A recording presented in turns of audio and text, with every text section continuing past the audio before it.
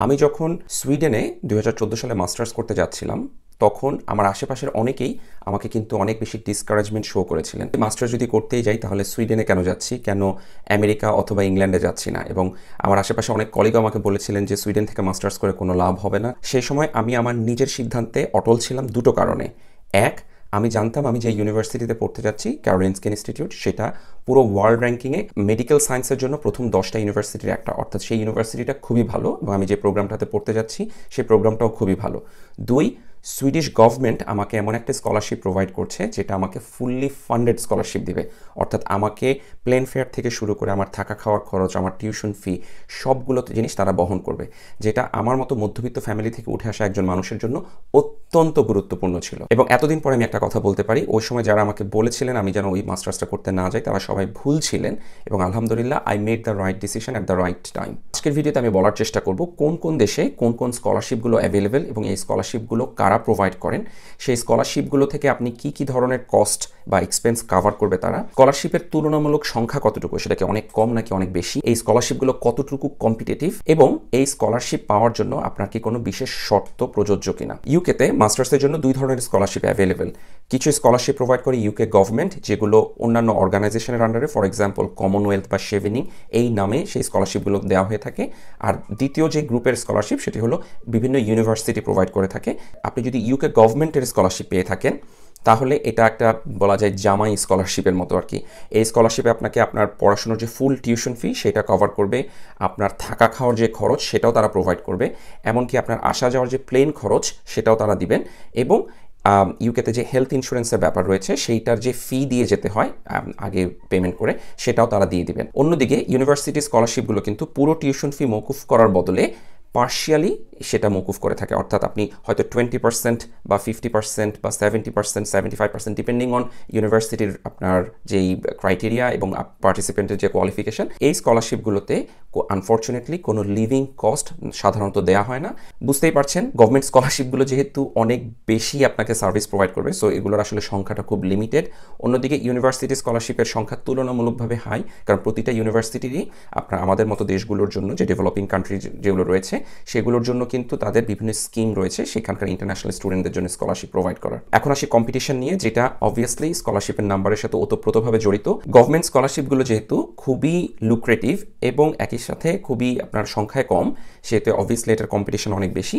অন্যদিকে ইউনিভার্সিটি স্কলারশিপের ক্ষেত্রে কম্পিটিশনটা আমি বলব কিছুটা লো টু মিডিয়াম রেঞ্জে আপনি যদি ইউকে গভর্নমেন্টের স্কলারশিপ নিয়ে আসেন, আপনি পড়াশোনা শেষ করে আপনার দেশে আবার ব্যাক করবেন এবং দেশের জন্য কন্ট্রিবিউট করবেন, এই ধরনের একটা মুচলেখা টাইপের কমিটমেন্ট কিন্তু আপনাকে দিয়ে আসতে হবে।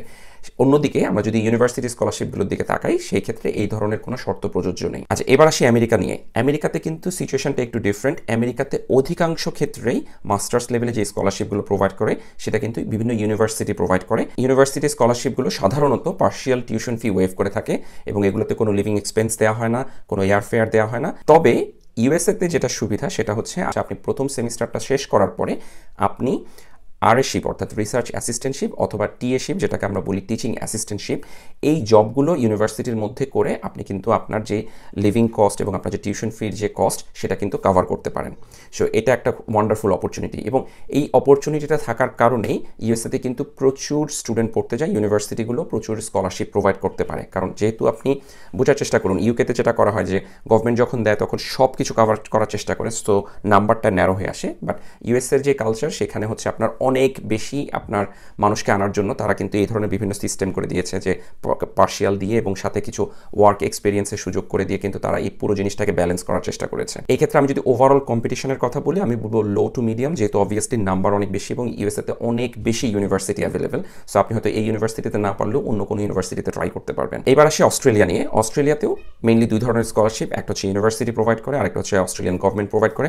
অস্ট্রেলিয়ান গভর্নমেন্ট অস এইট প্রোগ্রামের মাধ্যমে স্কলারশিপ প্রোভাইড করে থাকে, যেটা বাংলাদেশের লিমিটেড কিছু আপনার প্রায়োরিটি গ্রুপের গ্রুপের জন্য। ফর এক্সাম্পল আপনার গভর্নমেন্ট অফিসার বা এনজিও ওয়ার্কার এদের জন্য লিমিটেড সো সবাই সেখানে অ্যাপ্লাই করতে পারে না। সো অস্ট্রেলিয়াতেও মাস্টার্স করতে যদি আপনি চান, সেটার মেইন ফান্ডিং বা মেইন স্কলারশিপ অপরচুনিটি হচ্ছে ইউনিভার্সিটির থ্রুতে ইউনিভার্সিটি স্কলারশিপগুলো আপনাকে পার্শিয়াল টিউশন ফি ওয়েভ করবে, কিন্তু কোনো লিভিং কস্ট দিবে না, আপনার কোনো প্লেন ফেয়ার দিবে না এবং কোনো হেলথ ইন্স্যুরেন্স প্রোভাইড করবে না। আমেরিকাতে যেটা সুবিধা ছিল যে আপনি আর আরএশিপ এবং টিএশিপ করে আপনার মাস্টার্স চলাকালীন সময় আপনার কস্টগুলো কাভার করতে পারবেন।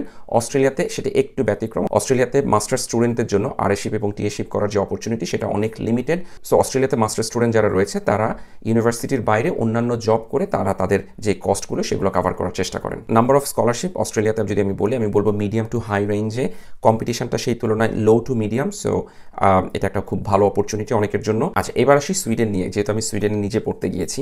সুইডেনে দুই ধরনের স্কলারশিপ রয়েছে, একটা হচ্ছে গভর্নমেন্ট স্কলারশিপ যেটা সুইডিশ ইনস্টিটিউট নামে পরিচিত। এছাড়া কিছু ইউনিভার্সিটি স্কলারশিপ রয়েছে, যেমন আমার ওয়াইফ সে ক্যারোলিনস্কে ইনস্টিটিউট থেকে ইউনিভার্সিটির যে স্কলারশিপ ছিল সেটা পেয়েছিল তার মাস্টার্স করার জন্য। সুইডিশ ইনস্টিটিউটের যে স্কলারশিপ সেটাও আপনার ইউকের যে কমনওয়েলথ স্কলারশিপের মতো, অর্থাৎ সব কিছু আপনাকে প্রোভাইড করবে। একেবারে আপনার টিউশন ফি থেকে শুরু করে হেলথ ইন্স্যুরেন্স সবই প্রোভাইড করবে। আর ইউনিভার্সিটি স্কলারশিপগুলো সাধারণত পার্শিয়াল থেকে ফুল স্কলারশিপ প্রোভাইড করে থাকে এবং সেই ক্ষেত্রে আপনি হয়তো অন্যান্য কাজ করে আপনার কস্টগুলোকে মিট করতে পারেন। আমি যদি number of scholarship in Sweden বলি, আমি বলব লো টু মিডিয়াম খুব বেশি কিন্তু স্কলারশিপ সেখানে নেই। আবার কম্পিটিশনটাও লো টু মিডিয়াম কারণ অনেক স্টুডেন্টরাই কিন্তু আপনার ইংলিশ স্পিকিং কান্ট্রির দিকে যাওয়ার প্রবণতা থাকে। সো ওইদিকে কম্পিটিশন বেশি হওয়ার কারণে সুইডেনে অনেক ক্ষেত্রে কম্পিটিশন কমে আসে। আর সুইডিশ ইনস্টিটিউটের যে স্কলারশিপগুলো সেগুলোতে কিন্তু প্রায়োরিটি কিছু টপিক বা সাবজেক্ট রয়েছে, যেগুলোর উপরে স্কলারশিপ তারা মেইনলি প্রোভাইড করে থাকে। এবার আসি কানাডায়। আমার জানা মতে কানাডায় মেইনলি আপনার যে স্কলারশিপগুলো মাস্টার্সের জন্য অ্যাভেলেবেল সেগুলো ইউনিভার্সিটি প্রোভাইড করে থাকে। এই স্কলারশিপগুলো আমেরিকার স্কলারশিপগুলোর মতো পার্শিয়াল টিউশন ফি ওয়েভ করে থাকে এবং এরা সাধারণত আপনার যে থাকা খাওয়ার খরচ বা প্লেন ফেয়ারের খরচ সেটা প্রোভাইড করে না। এবং কানাডাতেও আপনি রিসার্চ অ্যাসিস্ট্যান্টশিপ এবং টিচিং অ্যাসিস্ট্যান্টশিপ জবগুলোর মাধ্যমে আপনার যেই লিভিং কস্ট এবং টিউশন ফির যে গ্যাপ রয়েছে, সেটা আপনি কাভার করতে পারেন। কানাডায় যেহেতু ইউনিভার্সিটির সংখ্যা কম, সেহেতু আমি বলব যে এখানে আপনার স্কলারশিপের যে নাম্বার সেটা লো টু মিডিয়াম কম্পিটিশনটা আমি বলব মিডিয়াম টু হাই সেটার মেইন কারণ হচ্ছে অনেকেই এখন কানাডায় মাস্টার্স করতে যাচ্ছেন। কারণ পরবর্তীতে মাস্টার্স করার পরে কানাডায় পারমানেন্ট রেসিডেন্সি পাওয়া এবং সেটেল হওয়ার ক্ষেত্রে কিছু অ্যাডভান্টেজ রয়েছে এবং এই জন্য কানাডা অনেকের জন্যই খুব আপনার লুক্রেটিভ একটা ডেস্টিনেশন সেটার কারণে অনেকেই অ্যাপ্লাই করছেন। এইবার আসি জার্মানিতে। জার্মানি অনেকের জন্যই মাস্টার্স করতে যাওয়ার জন্য একটা লুক্রেটিভ ডেস্টিনেশন কারণ জার্মানির যে পাবলিক ইউনিভার্সিটিগুলো রয়েছে, সেখানে আমাদের মতো ইন্টারন্যাশনাল স্টুডেন্টদের জন্য কোনো টিউশন ফি নেই। সো এই যে পুরো টিউশন ফিটা মৌকুফ সেটা অনেকের জন্য একটা লুক্রেটিভ একটা অপরচুনিটি এবং সেই জন্য অনেক স্টুডেন্টরাই সেখানে মাস্টার্স করতে আসেন। এবং জার্মানিতে জার্মান গভর্নমেন্ট ডিএএডি নামে একটা স্কলারশিপ প্রোভাইড করে থাকে, যেটা আপনার আপনার লিভিং কস্টও কাভার করে।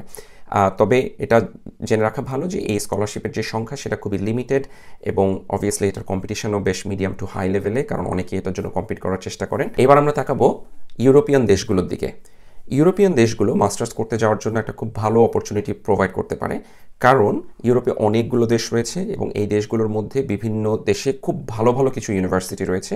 এবং এইসব দেশে তুলনামূলকভাবে কম্পিটিশনটা কম। কারণ এইসব দেশে অধিকাংশ ক্ষেত্রে ইংলিশ স্পিকিং কান্ট্রি না। সো অনেক স্টুডেন্টরাই এইসব দেশের দিকে নজর দেয় না। কিন্তু আমি এতটুকু হলফ করে বলতে পারি countries like Denmark Netherlands Finlands Belgium Norway এইসব দেশে খুব ভালো ভালো ইউনিভার্সিটি রয়েছে। যেসব জায়গা থেকে আপনি যদি মাস্টার্স করতে পারেন, তাহলে আপনার ক্যারিয়ারের জন্য এবং ফিউচারের জন্য অনেক ভালো হতে পারে। এইসব দেশে বিভিন্ন স্কলারশিপ অপরচুনিটি বিভিন্ন সময় প্রোভাইড করে থাকে গভর্নমেন্ট স্কলারশিপও থাকে ইউনিভার্সিটি স্কলারশিপও থাকে। এই জিনিসগুলো টাইম টু টাইম চেঞ্জ হয়। এগুলো যদি আপনি স্পেসিফিক ইউনিভার্সিটিগুলোর ওয়েবসাইটটা ঘেটে দেখেন অথবা সেই সব দেশের যে গভর্নমেন্টের যে বিভিন্ন সার্কুলার হয়, সেগুলোর দিকে যদি আপনি দেখার চেষ্টা করেন, তাহলে you will get important informations এবং অবভিয়াসলি আপনি যদি গভর্নমেন্ট স্কলারশিপ পান, সেগুলো আপনার ফুল টিউশন ফি থেকে শুরু করে লিভিং কস্ট এয়ার ফেয়ার সবই কভার করবে। যেটা একটু আগে বললাম যে অনেক স্টুডেন্টরাই এসব দেশকে একটু স্কিপ করে চলে যান। তাই আমি বলতে চাই, যদিও এই এইসব দেশে স্কলারশিপের যেই আপনার সংখ্যা সেটা অনেক কম। তারপরও আমি মনে করি কম্পিটিশনের দিক থেকে এখানে কম্পিটিশনটা low to medium so it can be very good opportunity for some people সবশেষে আমরা কথা বলব এশিয়ান কান্ট্রিগুলোর দিকে। আমাদের এশিয়াতেই এমন এমন অনেক দেশ রয়েছে যেগুলোতে খুব ভালো ভালো ইউনিভার্সিটি রয়েছে, যেমন জাপান, চায়না, মালয়েশিয়া, থাইল্যান্ড, এগুলোতে অনেক ভালো ভালো ইউনিভার্সিটি রয়েছে এবং এগুলোতে কিন্তু অনেক ইউনিভার্সিটি স্কলারশিপ অ্যাভেলেবেল রয়েছে, যেমন একইভাবে আপনার গভর্নমেন্ট স্কলারশিপও আছে। এমনকি এশিয়ান ডেভেলপমেন্ট ব্যাংকের মতো বিভিন্ন ইনস্টিটিউশনও কিন্তু অনেক সময় মাস্টার্সের জন্য স্কলারশিপ প্রোভাইড করে থাকে, যেটা অনেক ক্ষেত্রেই আমরা জানি না। আচ্ছা এই স্কলারশিপগুলো কি কভার করে? অবভিয়াসলি এটা ডিপেন্ড করছে কান্ট্রি টু কান্ট্রি এবং আপনি কি ইউনিভার্সিটি স্কলারশিপ পাচ্ছেন নাকি গভর্নমেন্ট স্কলারশিপ পাচ্ছেন? আগের মতোই গভর্নমেন্ট স্কলারশিপগুলো যদি আপনি পান, তাহলে সেক্ষেত্রে অনেক কিছুই কভার করবে। বাট যদি আপনি ইউনিভার্সিটি স্কলারশিপ পেয়ে থাকেন, সেক্ষেত্রে পার্শিয়াল টিউশন ফি দেবে এবং কোনো লিভিং কস্ট দিবে না। আমি বলব এইসব দেশেও স্কলারশিপের যে অ্যামাউন্ট সেটা লো টু মিডিয়াম অর্থাৎ খুব বেশি স্কলারশিপ নেই। বাট যেহেতু অনেক মানুষ এখানে অ্যাপ্লাই করেন না, সেহেতু এখানে আমি বলব কম্পিটিশনটাও কম। সো এটা কম্পিটিশনটাও লো টু মিডিয়াম রেঞ্জে সবশেষে একটা কথা বলে আমি শেষ করতে চাই, সেটা হলো আমি এই যে আপনাদেরকে এত ইনফরমেশন প্রোভাইড করলাম, এইগুলোর কোনোটাই কিন্তু কনস্ট্যান্ট না। এগুলো প্রতিনিয়ত পরিবর্তন হচ্ছে।